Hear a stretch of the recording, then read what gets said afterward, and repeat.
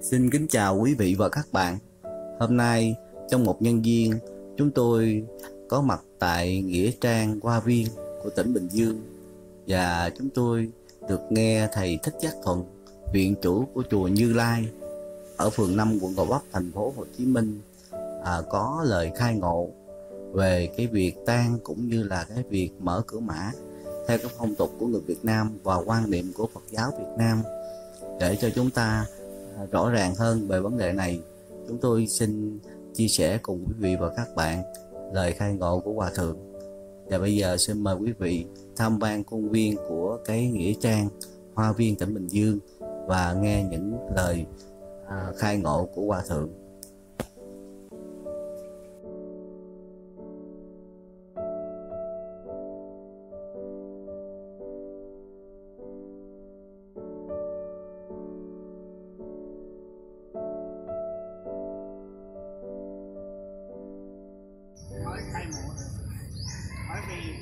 Gần ba ngày khai mộ là người chết mới biết rằng mình đã chết.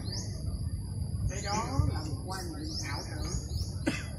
Cái chết mà người biết mình chết, tức là lúc ba tắc hơi thở ra mà không thích vô thích vô mà không thở ra là đã biết mình chết rồi. Nhưng mở cửa mã để tượng trưng cho lòng hiếu thảo của những người còn sống đối với người ra đi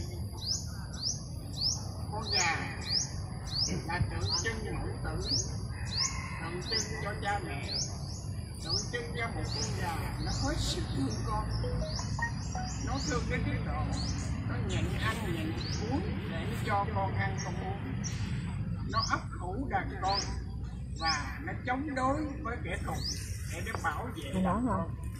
Đó gọi là tình mẫu tử tình cha mẹ do đó cho nên câu gà mái rồi cây mía là tượng trưng cho một sự ốm o gầy mòn của cha mẹ. Lo cho con, lo cho cháu. Nhịn ăn nhịn mặc để cho con con cháu được tròn đầy sống trong gia đình với xã hội. Do đó cho nên cha mẹ ốm o gầy mòn. Mà nhất là rồi, cái nấc thang. Nấc thang có nghĩa là bao giờ cũng trong ba má của mình trở về thiên đàng trở về cõi trời, trở về cõi trời chứ không muốn ở dưới địa ngục hay ở dưới đất. Cho nên cái thang là cầu nguyện cho cái linh hồn, cái người chết được siêu thoát. Tượng trưng như vậy thôi. Rồi có những ông thầy lại mê tín dị đoan, tạo cái điều kiện cho gia đình làm đủ thứ để tốn tiền, tốn bạc đó là một điều mà đạo Phật không chấp nhận mà đạo Phật chỉ chấp nhận một cách chánh đạo chánh kiến chánh tư duy do đó cho nên, để ba ngày, hồi xưa, quý vị thấy rằng nó là một cái đám ma ở quê hương, ở nhà quê. Chỉ khiêng cái hồn ra, trong mấy thước, hai ba chục thước, hạ quyệt thôi. Nhưng mà lại khiêng ban đêm, cho nên có bốn cái đuốc. Bởi vì ban ngày, thì dân chúng mất đi đạo lao động không có thời gian để lo đám ma. Cho nên mới gọi là 12 giờ rưỡi, tức là cái không giờ là không kỵ không cấm. Cũng là cái ý tổ rồi ba ngày mở ra cái mã.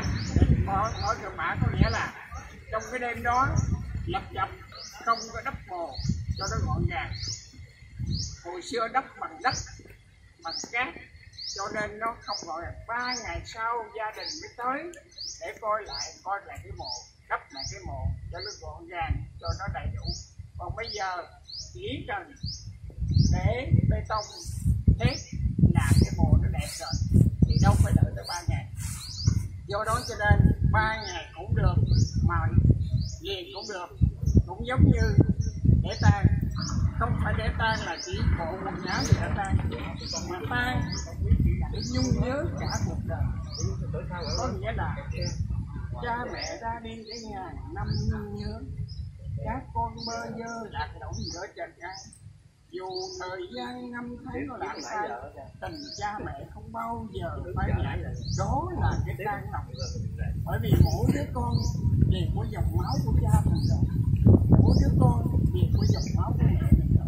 Do đó cho nên cái tan này là số còn quần áo nó là thể hiện bên ngoài.